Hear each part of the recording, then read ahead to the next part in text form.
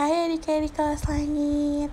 Hari ini kita akan berkegiatan mendengarkan cerita Aku Bilang Maaf. Seperti apa ya ceritanya? Yuk kita dengarkan.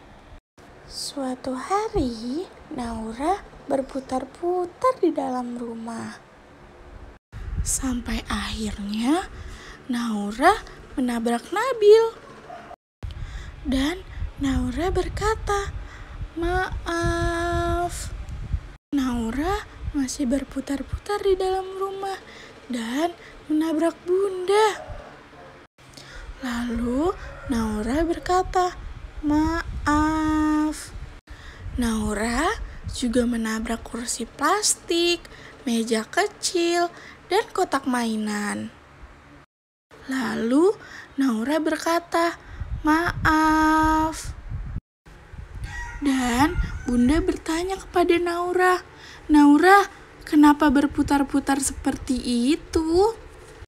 Lalu kata Naura, "Naura ingin jadi helikopter, Bunda." Hahaha. Bunda dan Nabil tertawa bersama. Lalu Naura berkata, "Maaf ya." Terima kasih adik-adik yang sudah mendengarkan cerita.